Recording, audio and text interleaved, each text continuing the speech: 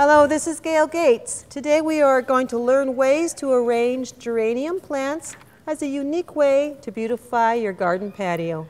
We have some nice red geraniums. You can use spider plants as an accent, but today we are using red sweet potato vines. Today we are using a hanging basket. You can use potting soil, but it must be potting soil that is for blooming plants. Fill your basket with the potting soil.